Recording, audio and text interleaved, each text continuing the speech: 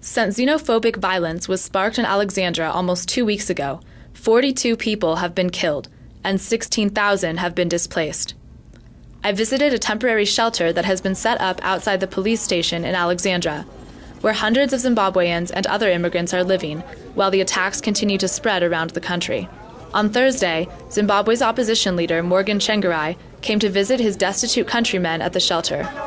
His people were excited to see him, flocking the streets and chanting Tsvangirai is number one.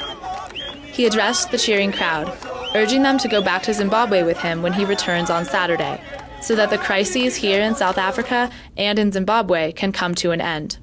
What I want to say to you is that the causes for this crisis is none other than our political circumstances back.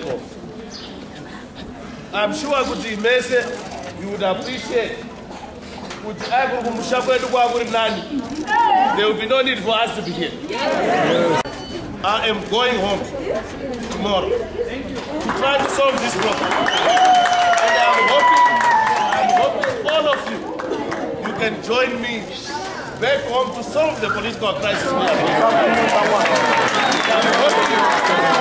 also hoping that our South African brothers will appreciate that the need will be more tolerant and more accommodative while we are solving that problem. And hope that in the long term, we can live side by side as we have done.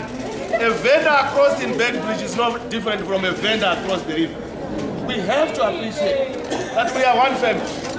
So with those remarks, I wish to say to all of you, let's go back home. Let's solve the Zimbabwean crisis. And hopefully in the long term, we can live happily ever after. And we can shake hands as brothers and sisters, as Africans, because I believe in African solidarity. I spoke to Zimbabweans living in the temporary shelter in Alexandra. Although some are rallying behind the Movement for Democratic Change leader, others are still too scared to return home, despite the recent violence they have been living amongst in South Africa. They just get in my place, take my things, everything, and then they say Zimbabwe must go back to his country. Did they burn your house or anything? They break, they, they break my house, everything. So, So are you scared to go home right now though? I'm not scared. I'm prepared to go. And he said he's going home tomorrow. Yeah, and me too. I'll go tomorrow. Isn't there a free transport? I'm free to go. I think he's going to do that uh, because he's campaigning. And then for us, uh, I think we've been dangerous because we know that at home there is dangerous. So it's like we are just doing because of first thing, because even here we are in dangerous.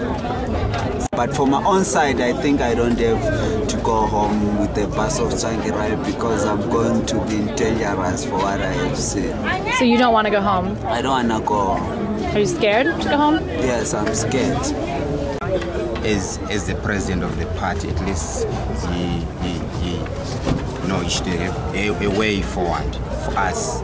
Some wants to go home, maybe they can be assisted with buses, but us who want to stay. And the, Mm, we just I think it's now to the South African government to offer us accommodation. Otherwise, Zimbabwean government cannot do anything in South Africa in terms of accommodation family that I need to feed in Zimbabwe. So if I go home right now, I'll go empty-handed, which means as a father, you know, you have to go with something. So I just wait for the situation to stabilize, and I can start selling again as I used to.